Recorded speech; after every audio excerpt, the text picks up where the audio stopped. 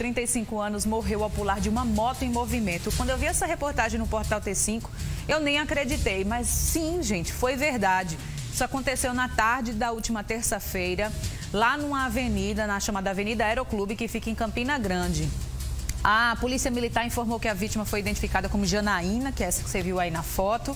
Ela teve uma discussão com o marido e estava voltando aí para casa de moto com ele. Mas aí, em determinado momento, ela decidiu pular da moto. Pois olhe, nessa ação dela de pular da moto, ela infelizmente, é, por conta da velocidade, ela acabou batendo num poste e morreu no local, viu?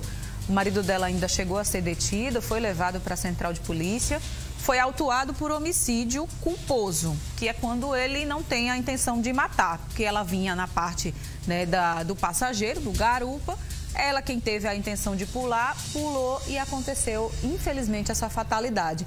Mas também porque existem dois mandados de prisão contra ele por outros crimes, né? questão de tráfico, de furto.